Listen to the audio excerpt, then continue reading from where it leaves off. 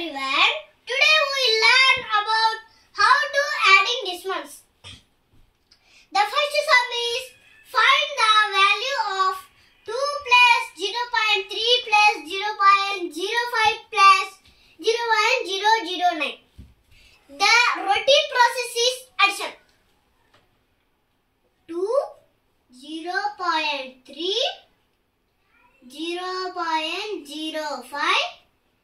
0.009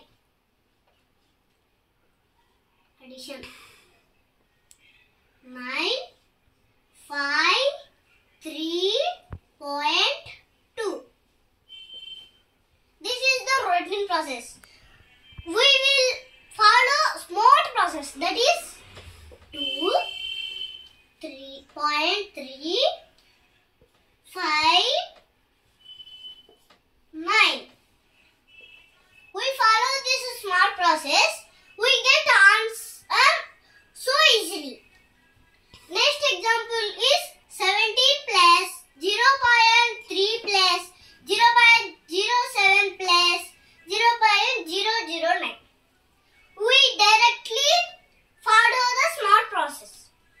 seventeen point